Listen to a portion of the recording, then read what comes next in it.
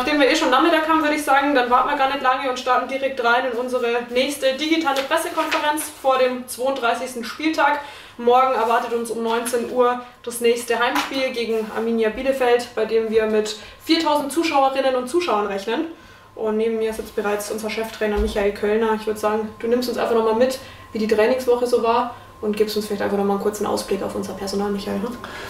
Ja, äh, Servus zusammen. Ja, Trainingswoche war gut. Äh, ja, sicherlich war das, die Oster, der Ostersieg in Unterhaching hat natürlich sehr gut getan, äh, auch über die Art und Weise, wie wir dort gespielt haben. Ähm, ja, personell hat sich in der Woche, äh, ja, am Freitag schon äh, vor dem Spiel, äh, Donat Duca in der U21 im Abschlusstraining verletzt, äh, Dennis Zeitler hier bei uns äh, im Training, konnten dann beide äh, weder in der U21 noch in der äh, äh, bei uns bei den Profis mitspielen. Äh, von dem her haben wir ja die Woche schon verkündet, fallen beide länger aus. Thomas Rausch äh, hätte am Samstag in der U21 gespielt, der hat einen Magen-Darm. Infekt vom Freitag auf Samstag erlitten, der ist jetzt heute wieder zurückgekehrt. Zumindest jetzt einmal hier zum Aufbautraining. Alles andere ist personell, ja, gibt es keinerlei Probleme. Und äh, das sind die Spieler, die jetzt fürs Wochenende ausfallen. Alles andere ist an Bord. Gut, an Bord seid auch ihr. Demnach werdet ihr jetzt an der Reihe mit euren Fragen. Sonst wäre es die kürzeste PK aller Zeiten, die ich erlebe. Matthias Ort vom Funkhaus Ingolstadt startet. Dankeschön. Ähm, ja, ich hätte ein paar Zahlen zwar bis zum, bis zum 24. Spieltag äh, war Ingolstadt, glaube ich, die drittbeste Heimmannschaft. Da hat man sich gefragt, wann holt man denn auswärts mal die Punkte? Danach dann äh, drei Spiele im Sportpark verloren, dafür die letzten drei Spiele immer gepunktet, wenn es auswärts zuging. Wie erklären Sie sich denn diese 180-Grad-Wende? Ja, äh, gute Erklärung. Also ich glaube, das war, das war grundsätzlich äh, auswärts äh, richtig gute Spiele hinbekommen, mit Ulm, mit Regensburg, jetzt mit Unterhaching. Ich glaube, da kann man sehr zufrieden sein. Zu Hause, glaube ich, äh, ja, war das Pferdspiel sicherlich äh, eines unserer schwächsten Spiele der Saison. Aber jetzt äh, mit Freiburg und mit Köln äh, waren das die Spiele eigentlich nicht von der Leistung her ausgerichtet, dass wir das verlieren, sondern Freiburg haben uns ja selber geschlagen ähm, mit der gelb-roten Karte und gegen Köln war das ja ein Einfluss äh, vom Schiedsrichter, der das Spiel dann äh, äh, in die falsche Richtung für uns bewegt hat. Also von dem her sehe ich jetzt da keine, keine Muster. Mich freut es, wie gesagt, dass wir auswärts stärker geworden sind.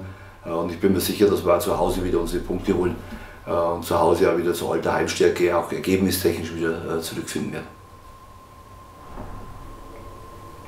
Danke dir, Matze. Gottfried Sterner steht schon in den Startlöchern. Der Donaukurier, bitte. Ja, mit einem Sieg äh, gegen äh, Bielefeld kann man jetzt die Punktzahl vom Vorjahr erreichen und mal nach dieser Telle auch wieder in die Spur finden. Also vor dem Toto-Pokalspiel, das ja auch nochmal eine große Bedeutung hat. Wie wichtig ist, dass jetzt diese Leistung und auch äh, das Ergebnis nochmal bestätigt von Unterhaching? Also ist wirklich so, mit den, mit den drei, wenn wir drei Punkte mehr äh, hätten, haben wir so viele Punkte wie letztes die ganze Saison. Wahnsinn. Ich hätte gedacht, dass wir ein bisschen mehr Punkte geholt hätten.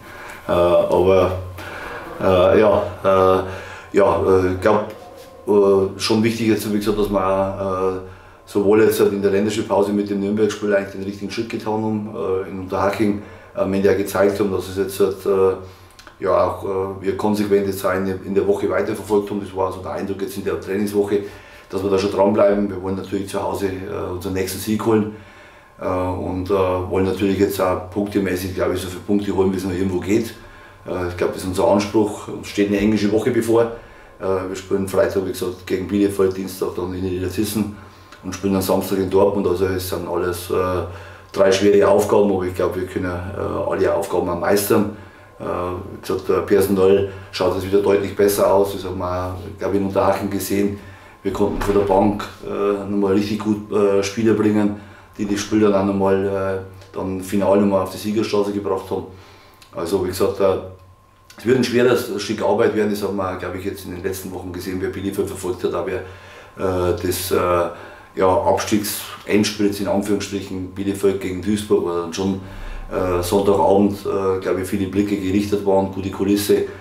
Ja, und äh, trotzdem, äh, wie souverän am Ende Bielefeld dann das Spiel nach Hause gebracht zeigt schon die Qualität der Mannschaft.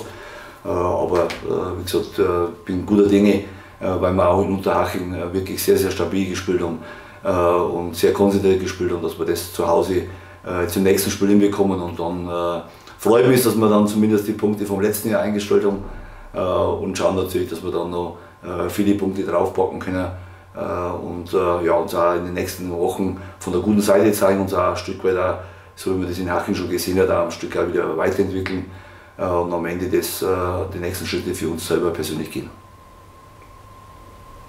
Wir haben gegen Unterhaching auf Sicherheit gesetzt, ihr auch bewusster gesagt, dass man da Erfahrung auf dem Platz haben wollte.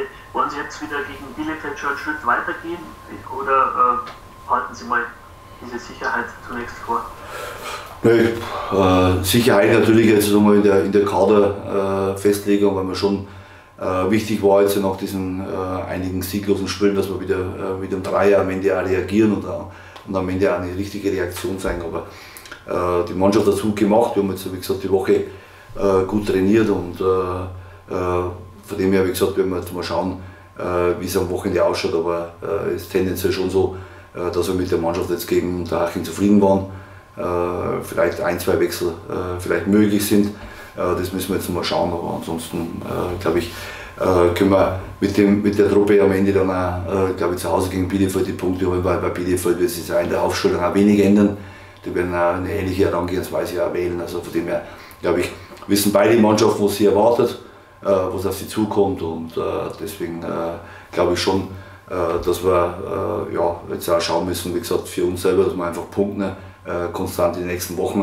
Äh, wie gesagt, wir haben jetzt mit äh, Zeitler und den Luca leider zwei junge Spieler verletzt, die sicherlich auch vielleicht in den nächsten Wochen auch die eine oder andere Minute bei uns gesammelt hätten.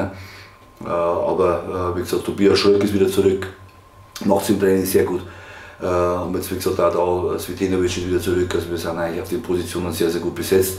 und mit Gröning, Dittgen, jetzt Kanuric von der Bank haben wir, glaube ich, auch nochmal äh, richtiges, gutes Personal auch von der Bank gebracht. Und ich lasse mich morgen jetzt auch mal, äh, bis morgen das auch nochmal Sachen äh, von der Mannschaft her und schauen wir dann morgen früh äh, beim Aktivieren, äh, wer gut beieinander ist und wer am Ende dann auch, äh, wo ich das Gefühl habe, bei denen ist eigentlich, haben wir die, eine, eine hohe Wahrscheinlichkeit, dass gegen Bielefeld am Ende auch eine sehr gute Leistung rauskommt.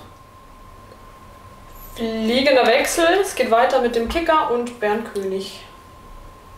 Du musst eine Rolle aller Kölner, ähm, da wir auch beim Thema junge Spieler sind, ähm, in Unterhang standen mit Kajo und Keidel ähm, überraschend zwei Junge in der Startelf. Ähm, lag es an den Leistungen von Kaloric und Popac, dass sie mit denen vielleicht davor nicht ganz zufrieden waren?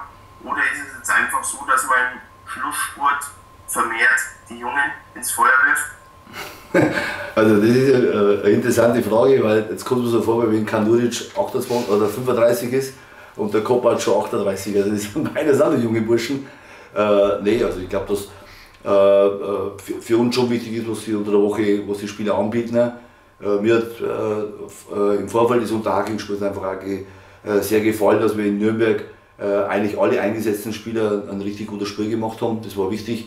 dadurch kommen wir auf jeden Fall mal davon ausgehen, dass wir auf alle zurückgreifen können und dann äh, haben wir einfach dann äh, vom taktischen Verhalten her äh, war für mich eigentlich klar, dass wir da mit Keil und mit Kajo am Ende auch, glaube ich, das sehr, sehr, sehr gut zu Unterhaching passt, sehr, sehr gut zu der Art, wie sie spielen und beide haben das auch gerechtfertigt und aber beide waren dann auch, glaube ich, Kajo, weil er doch mehrmals getroffen worden ist, ähm, muss dann auch runter, der hat dann äh, Finger äh, am Sprunggelenk und da hat es einige Einschläge gegeben, äh, den muss man runter und Keil war dann glaube ich auch äh, so viel gearbeitet, Felix und so äh, hart geackert, dass dann am Ende auch äh, wichtig war, da nochmal einen frischen Impuls zu bringen. Also äh, ich glaube nicht, dass, es, dass wir jetzt eine Jugend forscht in den nächsten Wochen machen wollen, sondern glaube ich wichtig ist für uns, dass die Spieler, mit denen wir planen, die für uns eine Rolle spielen, dass wir die auf den Platz bringen äh, und dass die einfach auch jeder für sich äh, die nächsten Schritte geht und äh, so was ich vorher schon mal gesagt habe, wir wollen so viele Punkte wie möglich holen und das sind halt am Ende in jedem Spiel drei Punkte und wir haben noch mindestens acht Aufgaben vor uns. Die wollen wir auf jeden Fall erledigen, so bestmöglich wie es geht. Ich glaube, das ist unser eigener Anspruch Aber das ist ja der Anspruch, den der Verein und die Fans an uns stellen und äh, dem werden wir auf jeden Fall gerecht werden. Äh, da braucht sich also keiner irgendwelche Sorgen machen, dass wir jetzt da irgendwelchen wilden Dinge am Schluss veranstalten, sondern wir werden weiter marschieren und Gas geben, äh, bis die Saison äh, dann final beendet ist. Okay. Ist unsere PK dann auch beendet? Ihr scheint keine Fragen mehr zu haben. Dann war sie das wohl, die PK vor unserem Heimspiel gegen Arminia Bielefeld morgen um 19 Uhr. Spätestens da sollten wir uns sehen. Bis dahin, macht es gut, ciao und Servus.